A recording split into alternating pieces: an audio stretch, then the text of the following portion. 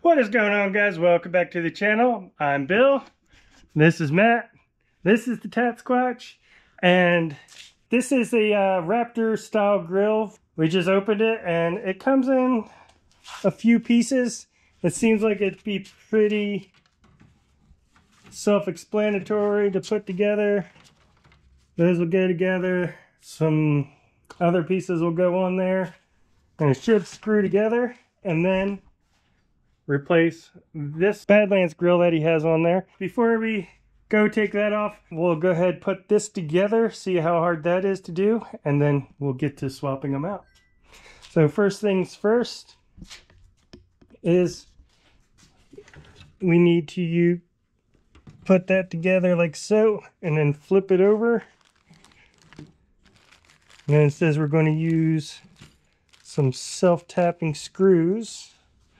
Now if we could slide that over to there, then use the six self-tapping screws that are supplied here. We got these separated out. There's one random screw. Then there's 12 of these, 12 of these, and 12 of those, two washers, and then some clips. So yeah, those just get screwed in. Well, maybe.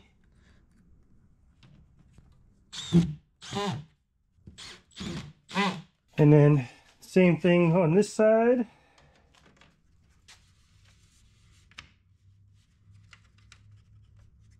Apparently you gotta be very careful because you those poked through just just barely poked through a little bit there. So they've got their decorative blocks. If you arrange them in a weird order, spell Ford amazingly. So it's not it's not how it's sold. It, that's how the letters come separately because it's not a Ford product. But if you rearrange the letters in the correct order, you can spell door. Ford across. You can spell Dorf across the front, or Ford, or Ord, or however you want it. So that'll fit like so. Now the trick is getting it flipped over without dropping those off of there. Or are you just going to do one at a time? Yeah. Or you could do that. But yeah, it's just more of this sticking the letters on there, getting the screws lined up, er, and screwing them down. Like I said, there's only like five total threads on there maybe, so it's harder, it takes longer to get them lined up than it does to screw them in. But yeah, uh, I won't bore you with what, making us making you watch us go through uh, 50 screws here, and we'll just check back in once those are done. All right, well, Matt's putting those letters in. I'll go ahead and start taking this one out. And it's pretty simple. Like I say, we've taken this grill off uh, quite a few times, but process is simple. We got these pins, pull them out. There's a series of them down and then this will pull off. So I'll just get these pulled out real quick. And then once all those clips are out, and just lift this out, set it to the side. And now we've got to take four 10 millimeter bolts. Half the time I'll loosen one of these and then realize, oh wait, that's the wrong one. It's these back here or closer to the front. Um, they have these two here. Those actually hold these shutters on. It's the one um, on top of that that you want to take out to remove the grill. So 410 millimeters. And then once those four screws are out, you can just give it a little tug.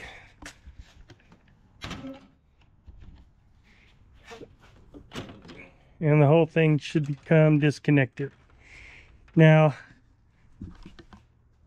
if you have the front camera, there is normally uh, two connections here that you'll have to disconnect. One for the washer and one for the camera itself. Matt does not have the washer, unfortunately, but and then the camera has been relocated up here, so that's not connected. But it does have some wiring here connected, which is for the the Oracle Bronco lights, which will be disconnecting, and then these Raptor lights, which will just be switching over to the newer Raptor lights. The Oracle lights, it's got one ground here. We can go ahead and disconnect that, and then the power is right there. We'll go ahead and snip that. And like that, we're done. Now, uh, he's just got every, I got the old, old grill off. He's just got this one, got the letters finished and setting it up there. Make sure everything lines up and looks good, which I think it does. On to the next step, which I believe is just putting some, those back pieces behind here, which makes it a little bit prettier so you're not seeing the raw aluminum and everything showing through. So next step is going to be to install the lights. Yeah, so go from the back and then this sits on top of them to hold them in place.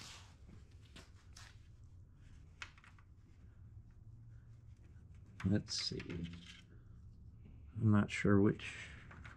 Okay, like so. That'll slide in there and then that will slide on top.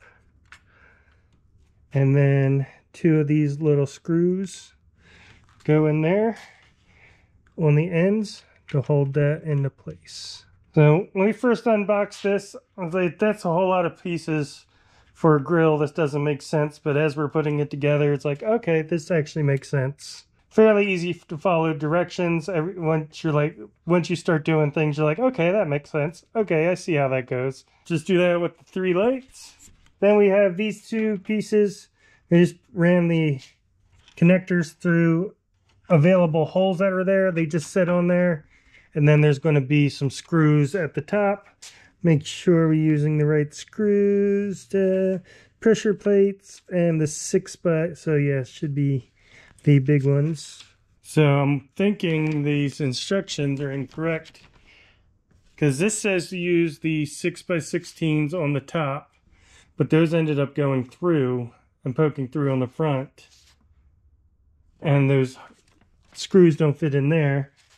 I think maybe we were supposed to use these for that, even though that is the 4 by 16 or yeah, 4 by 12 self-tapping screws. Now, the problem is we can't take those out to use up there because these holes are going to be smaller. These aren't going to tap into them.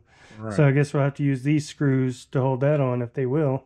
Instructions say to use the same set of screws. It never says to use the four these smaller four by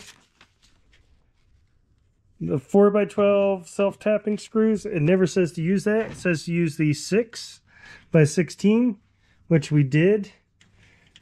But those should have been the smaller ones and saved those bigger ones for this. But now we can't do that because we've already made those holes too big. So this will have to get put together with those smaller ones, hopefully.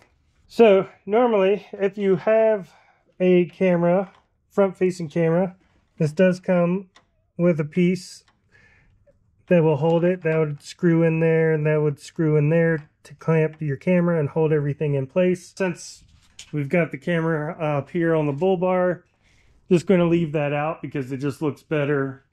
With just the opening there, it looks like an opening. With the piece in there, but without the camera, it looks like something's missing. So just leaving that out, I think will look better. So we're leaving that out. And then the last thing it says is to install the upper and lower brackets. Is there a reason for that? I'm sure there is that probably that's where the stop is. So yeah, I guess that's how the bottom one fits. Now the problem is it's saying to use the same big screws again, which we don't have any more big screws because it's told us to use them every time. So there's definitely an issue with their screws and their di their directions.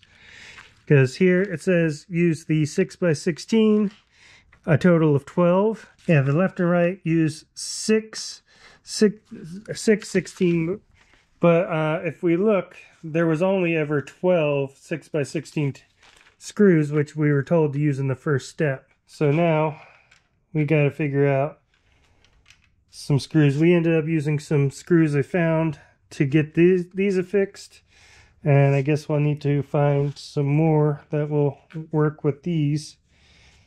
So we have these smaller ones, but they don't fill the hole. And if we use a washer, then there's only like one thread. So we'll find some screws to put in these corners. But yeah, definitely some feedback for the company is the instructions uh, do not line up with the hardware that we've been given. Yeah, so got some screws. We still haven't figured out what the purpose of these pieces are. I guess it kind of helps like here line up along the edges because when you install it, it should kind of go on the inside of the fender. So I guess it's just kind of an alignment thing. And then the last thing is you see all these plastic tabs. We need to install these metal clips on there like so because those are what will actually clip in to all these spaces that are the original grill snapped into. I got a bunch of those and then looks like we need one more screw in that corner over there. All right, so all the clips are on. We have a weird assortment of screws left. This one makes sense. We have that because we didn't use the camera.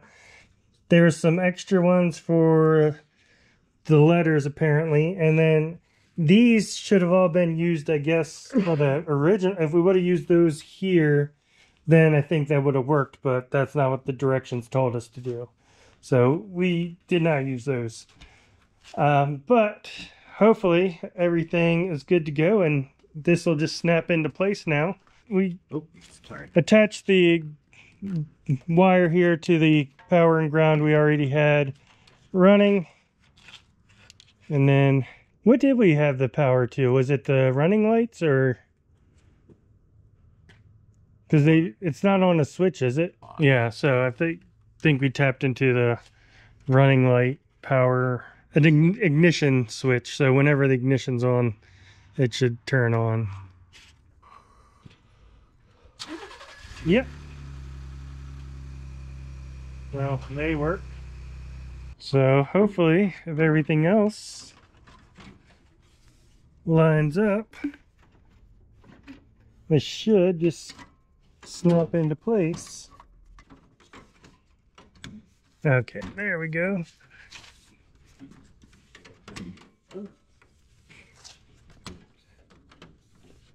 All right, it's snapping in as we go over there now. That's much better luck than I had with uh, my grill because it actually snapped in. And it's got the screw hole at the top to put those screws back in. What, you mean so you can't just run up and yank it off the Bronco and run?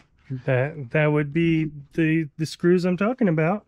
So yeah, you just put those 10 millimeters back in and set the uh, piece back in there. It's even got the tabs to reattach that as well. Let's go ahead. We'll get this kind of wrapped up and hidden and get everything tightened down and uh, take a final look at it. And like that, we are done. The black definitely looks better than the uh, the gray since you had nothing else gray on the Bronco. Um, so I think that definitely it looks good. Maybe we'll do something with those letters and brighten them up a little bit at one point. Had some issues with the uh, the instructions. So got some screws mixed up because well we read the directions and followed what they said. Other than that, it went together fairly easy. Uh, looks good and uh, does the trick. So you you like it? Yeah, very happy. The black definitely goes much better with it. So cool. Thanks again, Matt, for coming by. You guys, if you haven't yet, be sure to check Matt out. Tat, Tattoo Matt 71 or Tat underscore Squatch on Instagram or here on the channel. And I appreciate you guys watching. Thanks for stopping by. If you want to see more videos like this in the future, hit the subscribe button. And if you don't mind hitting that like button, it helps us out. So thanks, and we'll see you next time.